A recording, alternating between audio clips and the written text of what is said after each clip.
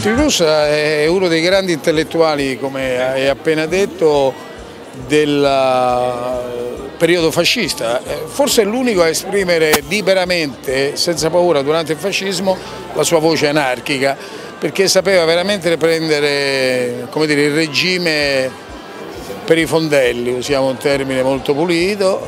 Lui ha detto sempre, è vero, eh, non sono stato mai antifascista ma soprattutto non sono stato mai fascista, sapeva prendere per, per il culo Mussolini via, e su questo aveva una capacità, una fantasia straordinaria.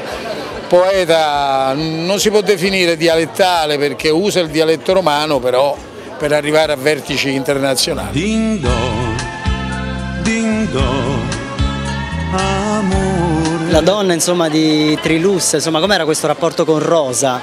Non sappiamo, è un mistero assoluto, non sappiamo di lei assolutamente nulla. Quando morì Trilus fu sfrattata e morì in un ospedale da sola e quindi per me è molto importante riuscire a ridarle in qualche modo voce e il posto che le spetta di diritto perché non avendo diritti l'hanno buttata fuori di casa. È una storia piuttosto triste. Eh, sì, è una donna di cui nessuno sapeva nulla, non una bella donna ma eh, una grande forza, evidentemente con Trilussa c'è stato un grande rapporto non legalizzato e quindi per lei con la morte di Trilussa è finito tutto. Adesso le ridiamo in qualche modo voce.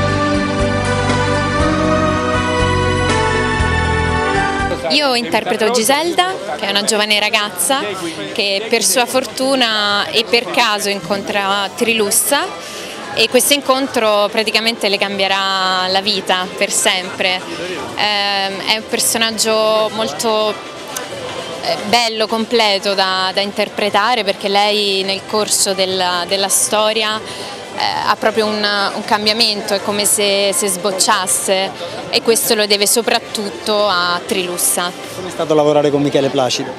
Beh, è stato ed è ancora, perché stiamo ancora lavorando, eh, molto mm, stimolante. Michele è un grandissimo attore, quindi eh, è bello imparare così, lavorandoci insieme a stretto contatto e devo dire che è anche divertente perché è anche un uomo di spirito, quindi mi sono trovata molto bene. Siamo romani, trasteverini, siamo... Il mio personaggio si chiama Arturo ed è un ragazzo che vive nella storia una storia d'amore con Giselda.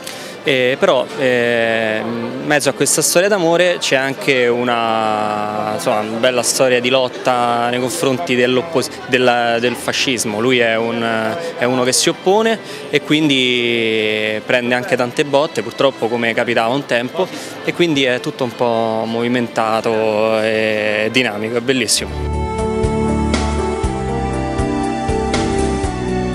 Pasolini ha detto che lui ha forgiato in qualche modo la lingua. Sì, è vero, è vero, è vero. Pasolini era un ammiratore di Trilussa e lui fa del dialetto romano una, dire, una, una, ne fa una lingua ehm, ne, fa, ne, fa, una lingua eh, anche sociale, perché riesce a descrivere gli uomini attraverso gli animali, no? le famose poesie l'uomo disse la scimmia, eccetera, eccetera, con un contenuto, diverte ma con un contenuto sociale molto molto forte. Gira, se la gira.